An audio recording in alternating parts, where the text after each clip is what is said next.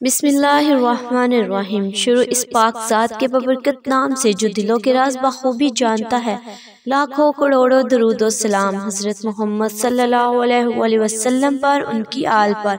अस्सलाम वालेकुम रहमतुल्लाहि व आज मैं आपको अपनी इस वीडियो के अंदर आपके हर मसले के हल के लिए, चाहे वो दफ्तरी हवाले से हो, कारोबारी हवाले से हो, या किसी भी हवाले से हो, इंशाल्लाह मसला जो भी हो आपका यानी आप यूँ समझ लें कि कोई ऐसा मसला जो अटक भी गया हो, या आपका कोई ऐसा मसला जो हल ना हो रहा हो तो इसके लिए मैं आपको एक ऐसा वजीफ़ा बताऊँगी कि रात को सोने से पहले, नमाज़ इशा के बाद और सोने से पहले अगर आप ये अमल करेंगे तो इन अल्लाह रब्बुल इज़्ज़त आपके मसले को हल फरमा देगा। कारोबारी लिहाज से जो लोग टेंशन में होते हैं कि कोई मसला पेश आ जाता है, वो हल नहीं होता। यानी किसी से पैसे लेने होते हैं और वो पैसे नहीं देता, और इसकी वजह से काफ़ी टेंशन आती है। इस मसले को भी आप हल कर सकते हैं। इस वजीफे से इसके अलावा घर के अंदर कोई परेशानी हो इस परेशानी के हल के लिए भी ये वजीफ़ा बहुत ही। आजमूदा है।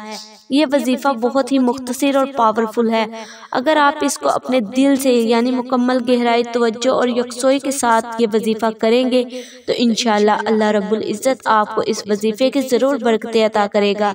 जब भी कोई वजीफ़ा करे, अव्वल आखिर दरूद पाक लाजमी पढ़ा करें। जो भी वजीफ़ा करे, नबी कराम सल्लल्लाहु अलैहि वसल्लम की प्यारी साहबजादी, हज़रत फातमा जहरा रज़ी का वास्ता देकर, आप रज़ी का वसीला देकर दुआ करें इंशाल्लाह जल्द कबूल होगी। और जब भी कोई आप वजीफ़ा करे तो इसके आखिर में दुआ लाजमी किया करें क्योंकि अल्लाह रब्बुल इज़्ज़त ने फरमाया तुम मुझसे दुआ करो मैं तुम्हारी दुआ को ज़रूर कबूल करूँगा।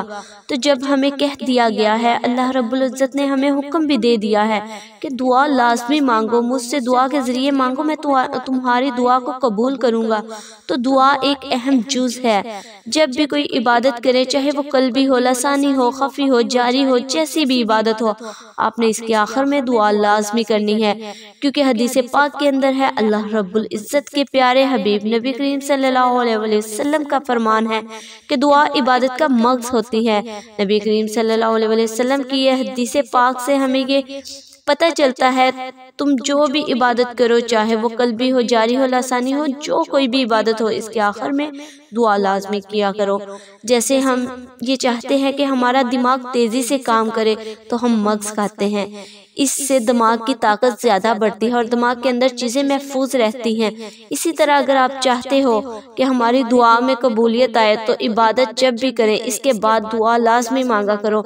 आज का जो वजीफ़ा है, वो ये है कि जब भी आपको कोई मसला दरपेश हो, ऐसा मसला जो हल ना होने वाला हो, आप नमाज़ इशा के बाद दो रकत नफल पढ़े और इस और इसकी इसकी नीयत दफ़ा मुसीबत यानी कोई भी मुसीबत आन पड़ी हो बीमारी के हवाले से हो कारोबारी हवाले से हो घरेलू हवाले से हो इसकी तंगी हो इसकी नीयत करें दफ़ा मुसीबत यानी मुसीबत को दूर करने वाली।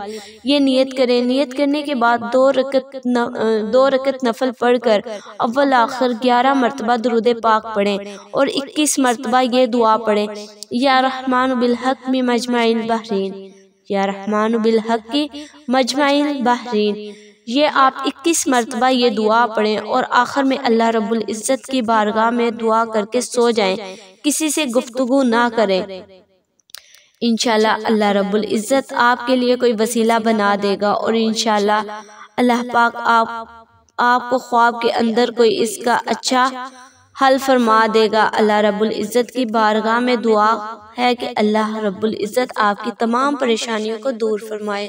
आमीन। अगर आपको वीडियो पसंद आई हो तो प्लीज़ वीडियो को लाइक कीजिएगा और अगर आप चैनल पर नए हैं तो चैनल को लाजमी सब्सक्राइब कीजिएगा ताकि आने वाली हर नई वीडियो का नोटिफिकेशन आपको मिल सके।